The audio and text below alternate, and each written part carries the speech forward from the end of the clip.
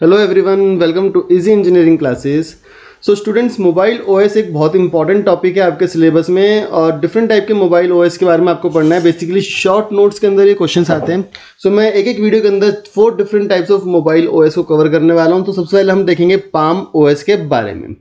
सो palm OS basically है क्या? It is an OS for PDA design for touch screen तो touch screen के लिए बनाया गया था पीडी डिवाइसेस के लिए बनाया गया था Palm OS it contains limited number of features बहुत ही लिमिटेड नंबर ऑफ़ फीचर्स हैं। डिज़ाइन किया गया था इनको लिमिटेड नंबर ऑफ़ फीचर्स के हिसाब से because of low memory and processor usage कि जो पीडी डिवाइसेस होती है, उसकी मेमोरी लो होती है।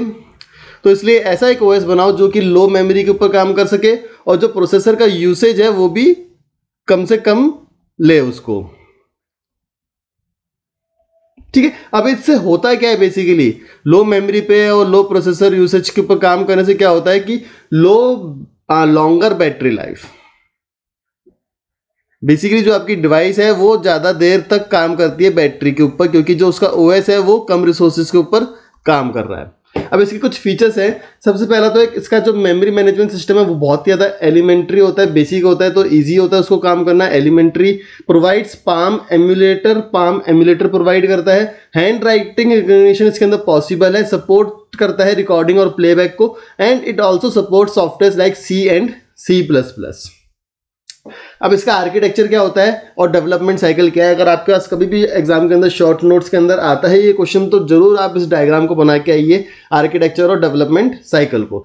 तो आर्किटेक्चर के अंदर क्या होता है? यहाँ पे बेसिकली आपके पास थ्री डिफरेंट लेयर्स हैं। सबसे पहले तो होती है एप्लीकेशन जितनी भी एप्लीकेशन आपकी जो रन कर रही हैं एप्लीकेशंस ठीक है? So all the application that are running on an device उसके बाद आपके पास यहाँ पे एक लेयर है, जिसके अंदर फोर डिफरेंट आपके पास एंटिटीज हैं कि होता है user interface then memory management system management and communication TCP IP और उसके बाद एक के पास है यहाँ पे एक micro kernel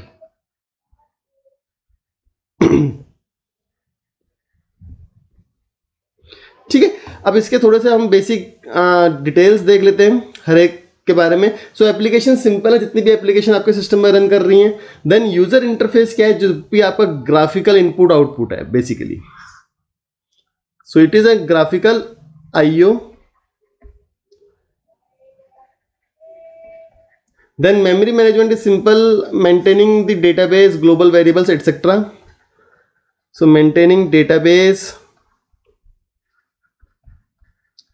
global variables etcetera system management में जितने भी आपके इवेंट्स हो गए, आपके डेट हो गई, टाइमर हो गए, उन सबको मैनेज करना। So let me write here system management is maintaining events, you can say calendar, date, time etcetera and communication TCP IP is simple it is use for communication ठीक है? So ये this is the basic idea basic architecture of Palm OS अब इसमें हम बात करेंगे, इसकी development cycle किस तरह से होती है? तो सबसे पहले आपके पास दो डिफरेंट एंटिटीज हैं। एक तो होता है पीसी जिसके ऊपर आप डेवलप कर रहे हो, आप कोड लिख रहे हो पाम जिसके ऊपर आप उस एप्लीकेशन को रन करना चाह रहे हो। तो सबसे पहले तो आप पीसी के ऊपर एडिट करोगे। एडिट मतलब आप लिखोगे राइट करोगे प्रोग्राम उसको डीबक करोगे। सो एडिट किया आपने कंपाइल किया? ठीक है एडिट के साथ साथ आप इसको डीबग भी कर रहे हो। Then after compiling after debugging आप इसको क्या करोगे? प्रोग्राम को रन करके देखोगे। पाम के ऊपर कि सही से रन कर रहा है या नहीं कर रहा है। And then the final program is released so this is the basic idea of Palm OS definitely आपको शॉर्ट नोट्स की फॉर्म में अगर ये क्वेश्चन आता है तो आप इसकी डेफिनेशन लिख के आ सकते हो पाम ओएस की then features and these two different diagrams. So this is all for this particular video. Thank you for watching the video. Please like and share the video and don't forget to subscribe the channel and press the bell icon to receive more such videos notification. Thank you.